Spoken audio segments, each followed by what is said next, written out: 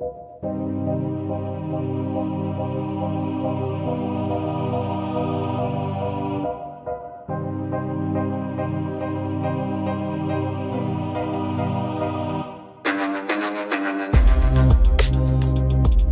sea is full of mysterious patterns.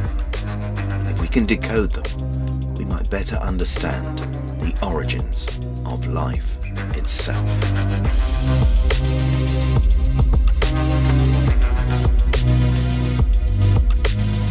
These are the skeletons of radiolarians, some of the smallest and most complex of creatures on our planet. Each only a fraction of a millimetre long, but they exist in their tens of trillions of tons, and in many places their accumulated tiny bodies cover the entire seabed. This is what it looks like, magnified thousands of times. Radiolarians are related to amoeba, and they're single-celled organisms, but they almost break down the idea of what it means to be a single cell. They have two layers. An inner nucleus, which makes them buoyant, and an outer layer. Nobody really knows why there's two separate layers. And they only live for two months, so how on earth did they make this complexity in that short time? How can a primitive organism come up with so much detail? Is there some trick as to how these life forms, and maybe all of us, get this complexity? Ernst Haeckel, a brilliant Victorian marine biologist and illustrator, drew thousands of these detailed drawings with the first sophisticated microscopes that were available in the 1860s. Just for fun, I cut out and animated some of these drawings of Haeckel's to imagine how they'd look in the sea.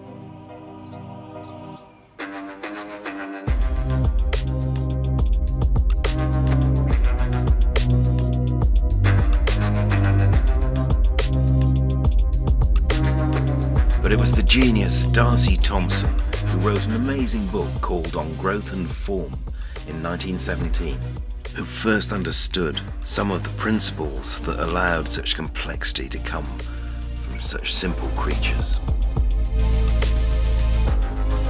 The skeletons of radiolarians are made of a kind of opal, which we know from jewellery. Basically silicon oxide, which is plentiful in the sea. But how do they build this intricate, tiny lattice work? In his book on growth and form, D'Arcy Thompson suggests what is still the most likely theory. When you see these beautiful forms, what they are are the dead skeletons, and in life they have tissue around them, cytoplasm. D'Arcy Thompson thought the cytoplasm was arranged in bags, or what he called vesicles, which are a bit like bubbles, and lots of bubbles together form a foam. And there's certain rules about how bubbles join with each other. Bubbles, when they come together, make the smallest shape they can and join at an angle of 120 degrees. This is the lowest energy way of doing things and makes the smallest perimeter.